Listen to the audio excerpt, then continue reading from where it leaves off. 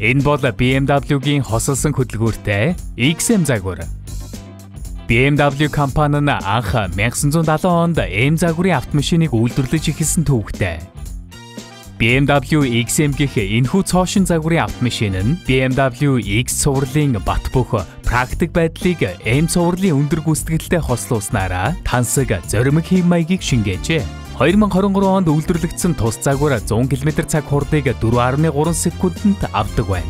Маш хүчтэй бөгөөд оновчтой бүх дугуун хөтлөгч Өндөр мэдрэмжтэй идэвхжүүлэгчдэр суурилсан дугуун гулсалтын хязгаарлагдц зэрэг нь домогт эм загварын шинж тэмдэг болох хүч оновчтой жолоодлогыг энхүү илэрхийлж байгаа билээ. 2017 онд байгуулагдсан Bavaria Motors нь дэлхийн тэргүүлэх зэрэглэлийн BMW компани автомашинуудыг Монголд цор ганц албан ёсны эрхтэйгээр оруулж ирдэг байна. Тансаг дээд зэрэглэлийн BMW XM загвар нь аюулгүй байдал инновацлог шийдлийг шингээж өгснөөрөө хэрэглэгчдийн таашаал хэдийнэ нийцээд байгаа юм. Энэ дугаарын зочид бол худалдаа хөгжлийн банкны гүйцэтгэх захирал Орхон болон бүгд найрамдах Франц улсаас Монгол улсад суух онц бөгөөд бүрэн эрхт элчин сайд асан Себастьян Сүрүн юм.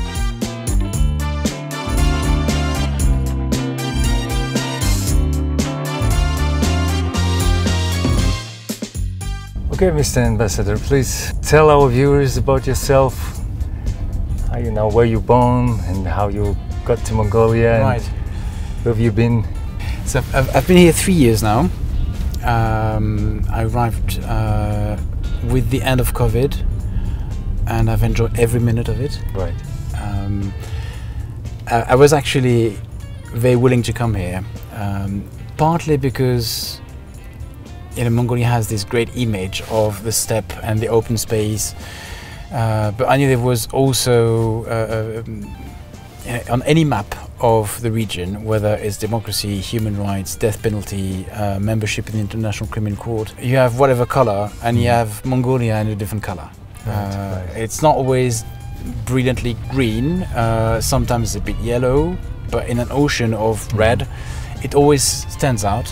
Um, and throughout my career, I've always managed to be in places that are between two worlds. Right. Um, that are a connection, mm-hmm. uh, or could be a point of tension, or it could be somewhere where things happen more easily. Um, and I think Mongolia is one of these places that manages to create space for themselves. Right.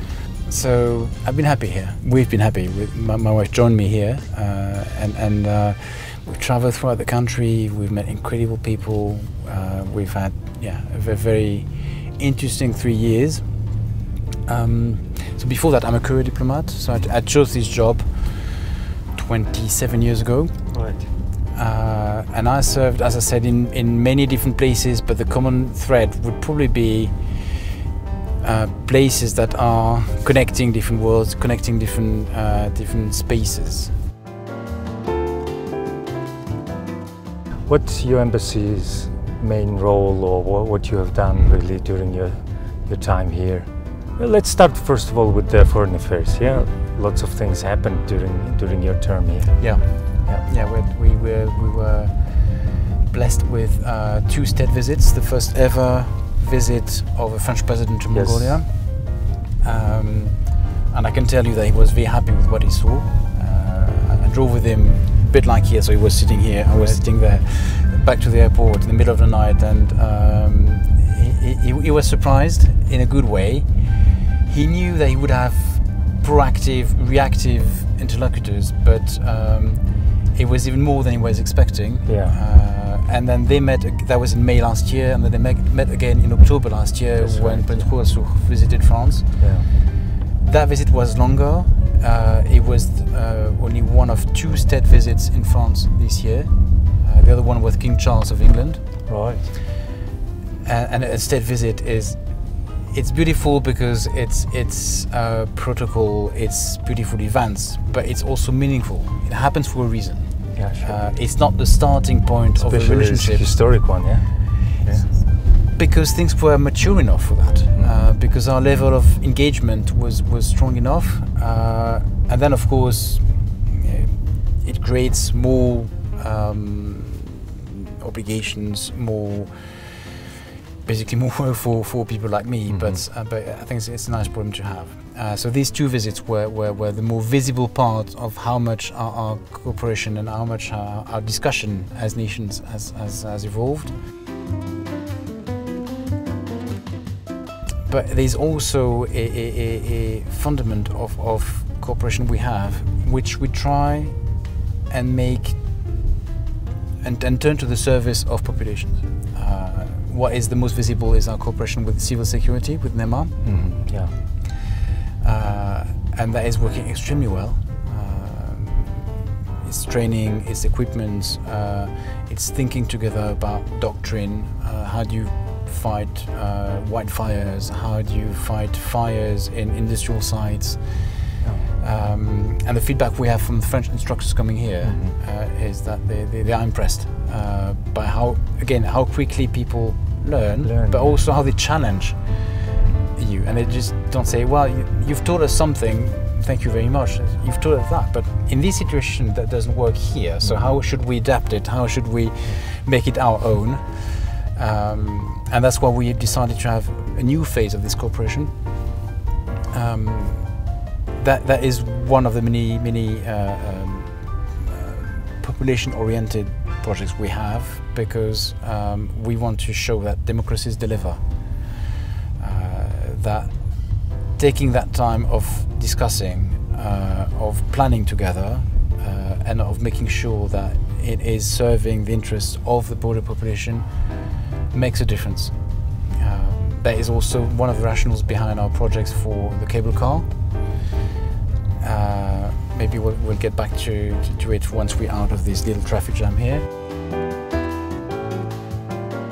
And uh, it's also behind uh, the next bigger project we have, which is uh, a telecommunication satellite, which a French-Italian company will build for Mongolia, Right. so that there is a sovereign national telecommunication satellite. Uh, Mongol engineers will decide if they want to move it a bit here, have more capacity there because it could be a natural disaster, or here because they know they have more clients for big festival, for Naadam, for example. Right. Uh, and no one will decide outside of Mongolia what to do with the data, uh, whether it would be available, what the prices will be, Mhm. uh, and, and that will make good quality telecommunication accessible throughout the country uh, for as cheap as, as, uh, as possible. And again, it would be the government deciding how cheap they want to go, uh, what offers they want to, they want to make.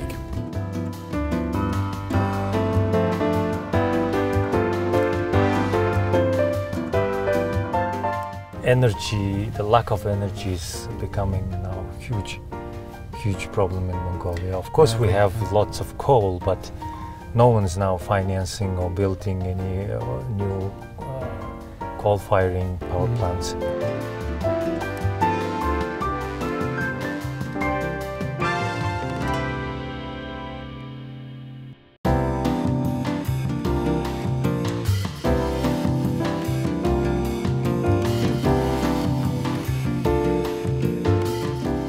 How do you see uh, the role of the government there? What, what policies do you, do, you, do, you, do you expect from, from, from the government?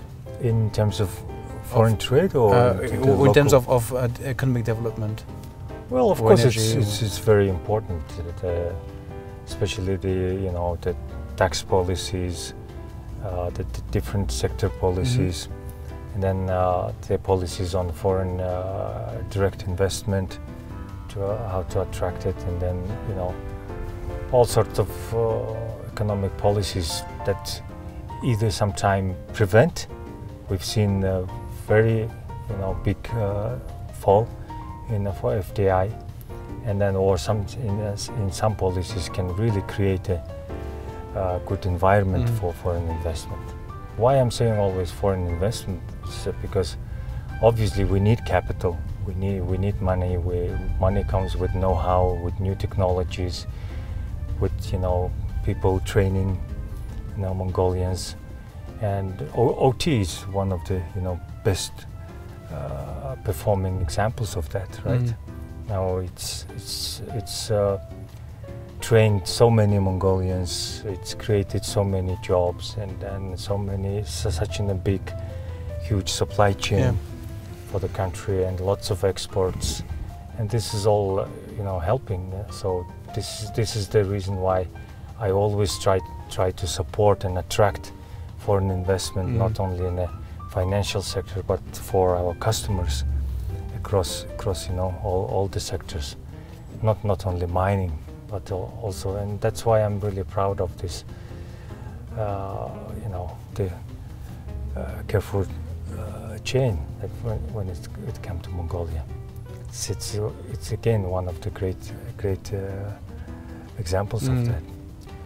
Uh, talking about large projects, OT, Yeah. we were waiting for the next OT project for quite a long time, and it looked like to me that it's finally moving during uh, during your term. Uh, it is moving. The discussions have started uh, for an investment agreement between the French company called Orano, Mhm. uh, and what they do is is uh, extracting natural uranium. Um, they do not transform it into fuel here, but they just extract it. Uh, and that investment agreement would be with, with the government of Mongolia. Uh, when that happens, that would be the second largest foreign investment in the country. Yeah, that's what We- we all expect. Yeah, we- we're talking about 1.6 billion uh, euros over 30 Euros. years. There is something very different from OT in terms of technology. It's small scale. Mhm. Um, technology is called uh, in situ leaching, which means uh, actually there's a picture of the project, the pilot project, uh, on, on the walls outside the, of the embassy. And it's always a surprise to people saying, but where's the hole? Where's, you know, where, where are you digging? Well, they're not digging. Mhm. Uh, they are injecting a solution Oh, uh, in the ground and then pumping it few dozens meters uh, uh, away. So it's, it's a slow process, and then they are extracting the uranium and recycling it. Uh, so what you see is small pools, uh, maybe that high up on the surface, and that's it. And So you have the herds going around. You don't have trucks. You don't have dust. Uh, and that is a technology we've used in Kazakhstan for the last 10 years. I see. Uh, and, and, and they were travels organized by uh, officials from Mongolia and herders from Mongolia to go and see what it looks like in 10 years. right. Uh, and, and it's always a surprise oh, because see. there's so little to see. Um, but that would help make the uranium market more fluid throughout the world, Mhm. and, and many countries, uh, not just France, have uh, um, a vast fleet of, of, uh, of uh, nuclear power plants. Mhm. Um, you can use a bit of radioactivity in all sorts of scientific and medical devices, but nuclear energy has that huge advantage of producing almost almost no uh, CO2 to produce energy. You need a bit of CO2 to build this, the, the power plant, Yes. like any big building, uh, and then that's it. Which is why you have more and more countries turning to nuclear energy. Uh, historically, Russia is a big actor as well, China in the region. Japan has had uh, a more complicated history with nuclear energy, of course. Um, Europe, the US, uh, but more and more countries, Middle East, uh, Korea, are, are, are turning their eyes to nuclear energy as one of the elements of an energy mix. No one says it, it solves every single problem or every single demand, but it, it's, it's a good part of a varied energy mix with renewables uh, and with, to some extent, uh, fossil fuel. Uh, with more fuel, fuel uh, uh, um, efficiency, with more energy efficiency, and, and um, that makes for a fluid market and a bigger market for uranium. So we hope we can seize the moment, uh, and and I hope that the the discussions will restart with the new government, with the new coalition, so that we can you know, send that signal to investors that yes, you can have big investments in Mongolia again, um, including in mining, if it's environmentally uh, friendly, if uh, it's beneficial to the population, uh, if uh, it, it's respecting the landscapes, then there is a possibility to, to, to think bigger. And um, I don't have a time, timetable in, in mind, but what I know about the discussion i- itself is that Mhm. there is no big issue There is no There's no outstanding any big issue to be resolved or misunderstanding No. between two parties. no, no issue where it has to be black or white. Right. Many issues where it's uh, should it be 100 or 200 or 120 or maybe 160. That can be negotiated around. Fine tuning. Exactly. Yeah. Um, but the, the basic principles have been set on paper already in October of last year I when uh, the Mongol president visited France. So we know where we're going. We understand that there's also a need of, of building a consensus, of having um, local populations, local uh, MPs, uh, having uh, local partners informed, they have legitimate questions, there are answers. Uh, the Mongol Academy of Sciences Mhm. made a very good work in assessing the current state of wildlife, soils, water, and the impact of the project. Uh, so that makes us comfortable to say we, we've had that discussion. Uh, everyone knows in a very transparent way what is on the table. Let's wrap it up Mhm. in, in the shape of an investment agreement and, and start operations in, in, in a few years from now. And as you say, that will bring expertise, that will bring investment, that will bring uh, job opportunities. Yes. And we start to see bright Mongol engineers and technicians working for Orano. Yeah. Um, I visited the, the, the site two years ago for the first time uh, with the then um, uh, mining minister. And every time he had a question, he had a Mongol engineer answering Yeah, him. There, there are three non-Mongols in the whole company, as far as I know. Right. Um, and, and that is the ratio that we're looking at in the future. There would be more people, uh, but mostly more Mongols working there in more and more qualified jobs. And I'm quite confident that in 10 years from now, you will see Mongol specialists working in project for this company or elsewhere, uh, anywhere in the world.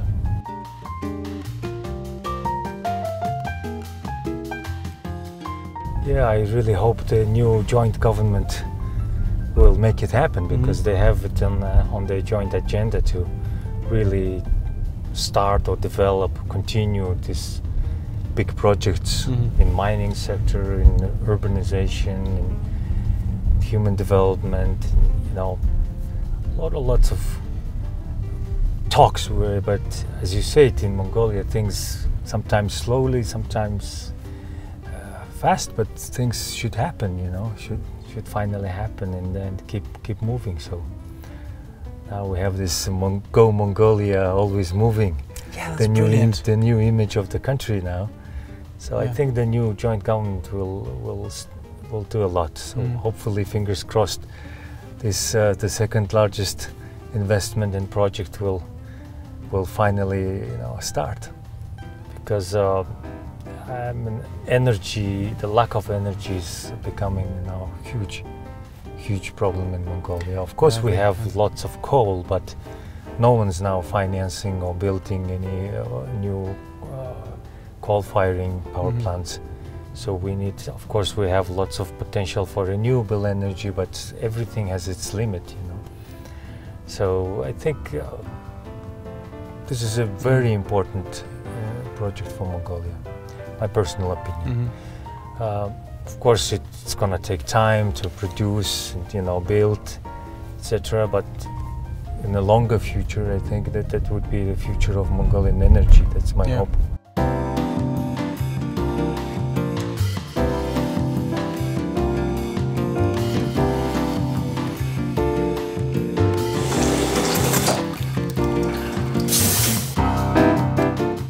End of next year, there will be a cable car from uh, market to Mhm. Yarmak.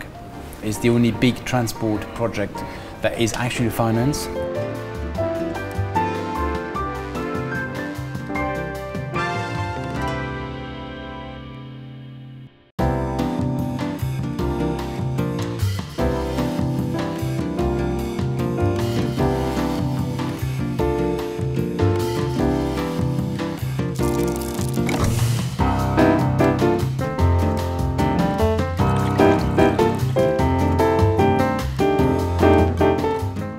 Yeah, so you said your wife is a musician. Yes, she's famous, famous actor. Mm-hmm. Although she's a part of a girl band. for over 20 years now.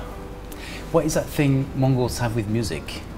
Uh, because maybe I've told you the story. Before being a candidate for the job Mhm. here, I asked a colleague of mine who used to be ambassador here maybe six years ago. And she told me the most surprising thing here is the music scene, because you have traditional music, um, M-pop, jazz, classical music, opera, uh, live music everywhere, and it's all mixed. You have the same people doing different types of music, which in Europe you no longer have. People are very specialized. Right. Uh, and I've been so happy here for three years with the music scene. So what is the thing with, with, with music for, for Mongols? That It's always there and it's always creative and always um, alive in a way. Yeah, we, we love music. The music is everywhere, whether it's traditional music, classical music, or modern Mm. music. All our corporate events, customer events, the New Year parties, even the you know weddings, they all Mm. with music. So we have uh, lots of famous artists and, and groups, bands in the in the country which like keep visiting all those events through throughout the whole entire year. So we, we see them everywhere. Like you know, sometimes in uh, you know towards Mm. the end of the year when we have lots of corporate parties, we, we can see them every night. Yeah, there's one category of music that is well not, not well known here, which is baroque music, Mhm. um, and we were able to have a baroque orchestra. They were visiting Asia, and we were able to have them here for 24 hours, including masterclass. And they were they are attached to the um, um, Royal Opera in Versailles, which is where there was a very beautiful. Uh, Mongol music concert when President Khurelsukh visited Paris Oh, yeah, in yeah. October. The same guys. Um, Mhm. they, they moved here for Mhm. once, and I hope to have them here at some point next year. And I saw how surprised and engaged the audience was here. And then when I talked to the musicians, Mhm. They said, "Well, we felt it on stage that people were surprised because it's sounds and rhythms Mhm. uh, that are very unusual for the classic music uh, uh, heritage here, uh, Mhm. because it's 17th, early 18th century music. It, it's very, very pepsy. It's, it's very um, um, a bit like um, uh, you know the, the steppe awakens here, and that, that kind of of, uh, of of music with a lot of rhythm. Mhm. Uh, and, and that was a good surprise for everyone to, to see that discovery, to see a good audience meeting a good orchestra and, and, and, and each discovering something. It's a ni- nice view from, from here into the city. I think this time of the year is when you don't have too much traffic jam, so it's, uh, it, it, it looks more, more viable in a way. But if we were sitting on the other side, uh, I could have shown you the place where we will install the cable car, Mhm. which uh, is the only big transport project that is actually financed. Mhm. So uh, it took us about four years so far to design, engineer, uh, discuss with the with the mayor's office, and it has, it's been different mayors. So every time Mhm. we have to to uh, explain, discuss, and, and see uh, how to adapt. It happens a lot. Yeah. It does happen a lot. With the current mayor, we had a very early and good discussion on what he wants uh, and, and how we what, what, what we can deliver uh, on, on our side. Right. So end of next year, there will be a cable car from uh, market to Mhm. Yarmak, uh, and and um, I hope that uh, the inhabitants of the city will be able to discover that it's very silent. It's um, very quick. It's about 11 minutes, and if you do it on a bus now, Mhm. it's something between 45 minutes and three hours. I see. Um 11 minutes is quite short, actually, Of course. uh, and we start to have requests of Is people. this just the first line or it's the first line. currently it's only one It's the first line. We have a budget for a second line. second line? Uh, we are in the middle of discussing what to do with the second line. My approach is start with the first line. People will see how it Mhm. works. Uh, my bet is they will love it. They will see that it's Mhm. it's it's quick, it's silent, it's safe. Uh, it, it's the equivalent of maybe 80 buses. 80 buses. Yeah. Wow. That, that It's big. how much how many bus- buses you need for Mhm. 45 minutes at least to, to cover that and go back. Right. Uh, and, and the footprint is very small because you need Mhm. one pylon every 100 meters, more or less. Mhm. Uh, and and these, these four kilometers will be actually quite, quite quick. So yeah, I can't wait to see that happening. Uh, and and the idea is it's it's a part of the existing um, network of transport. So Mhm. this card here that works in buses Mhm. should also be working in the cable car. It's the same system. Um, the pricing will be de- decided with the municipality, but there would be one more element for public transport here. Hopefully, less traffic jams, a bit less pollution, Mhm. and think of how much time you you you you, you win, right? Yeah, of course. 30, 30 minutes every day in, 30 minutes out, which you can spend studying, seeing people, working. One, one hour a day you, Yeah. save. It's a gift, isn't it? Yeah. It's great. Can't wait to see it. Yeah, I, th- I think I I think it will change, not massively, Mhm. uh, but it will be one more little step to show that things are improving, uh, that technology exists to make things easier, Mhm. uh, less polluting as well, uh, and and that is also the debate we just had uh, recently on the uh, renewable energies. Uh, it's about Mm. a, a policy decision that doesn't cost more than a bit of time, a bit of energy, and then you have private investors that can come in Mhm. and, and, and change things dramatically and having an impact on health, on, on uh, energy sovereignty, uh, on how much energy this country needs to develop as well. That, Mhm. is, that is one of the aspects, of course. Yeah, amazing. Okay, so maybe final words to wrap it up. Wrap it up. I've had, no, I'll give you an opportunity. thank you. I think it's been three amazing years for me. I think it's been three important years in our relationship between France and Mongolia, but I think more important, it has been um, a very promising time for Mongolia. Now with the new government, new parliament, it's it's a new new chapter. I hope we can build on the existing dynamics, which are very strong, make sure more is delivered, more and more is delivered for the population of Mongolia, for the partners, uh, and, and make sure Mongolia has more choices. I very much, very much believe in that sense of agency Mhm. that you know a society has to decide what they want to do themselves. It's not their neighbors or anyone else uh, who, who- has to decide that. A- And Mongolia society is very able to do that, willing to do that. So how can we help and open up space, uh, open up options, um, and then it's not up to me to decide which which way it goes. But I'm confident that um, Mongolia in a few years will be even more comfortable, more developed, uh, more more open than it is now. Well, thank you very much. It was a great pleasure to meet you today and have this opportunity to discuss about uh, what you're doing here and uh, you know what you've done for our country, for, for our relationship, for our people. And I'm really impressed and thankful on behalf Thanks. of all of them. And uh, just a few days before you leave Mongolia. Indeed. Yeah, it was really great pleasure. Thank you very much. And I really hope it's a new constitution, new parliament, is new rules, new regulations, new government.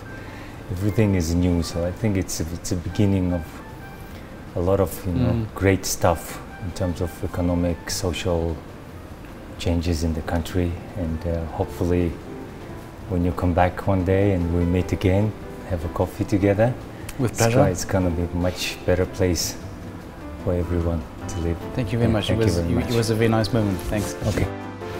Thank you. I wish you good luck. Thanks. Thank you.